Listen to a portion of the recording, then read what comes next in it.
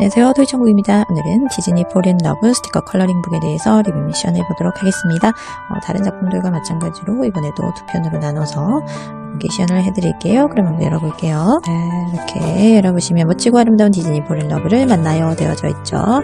자, 차례를 보시면 미녀와 야수 그다음 알라딘 인어공주 라푼젤, 레이디와 트램프 이렇게 해서 다섯 종류의 스티커 컬러링을 꾸밀 수 있게 되어 있고요.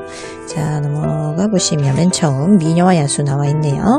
희망과 사랑을 잃지만 그러면 모든 것을 잃게 되는 거야. 자 그러면은 어, 야수 스티커 컬러링부터 시작해 보도록 하겠습니다.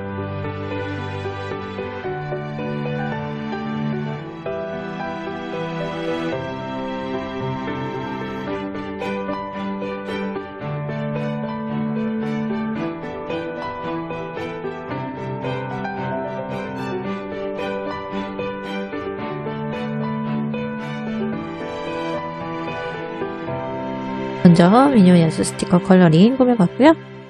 네, 그 다음 넘겨보시면 미녀와 야수의 명장면들 나와져 있고요. 누구에게도 이런 감정을 느껴본 적 없었어. 그녀를 위해 무언가를 하고 싶어. 미 야수의 대사죠.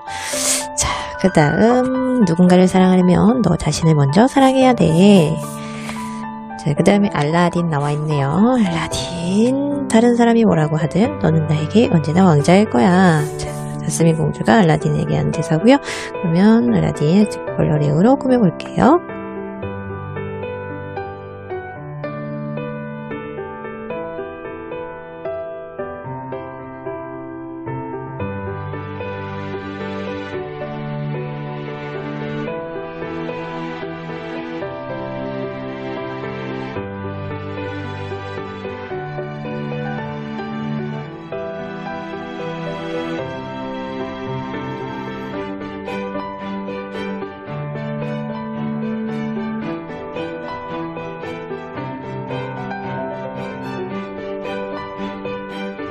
알라딘과 자스민 스티커 컬러링으로 꾸며봤고요. 자, 넘겨보시면 어, 애니메이션 알라딘의 장면들 나와 있고요. 오늘의 특별한 순간들은 내일의 추억이 될 거야 이렇게 나와 있어요.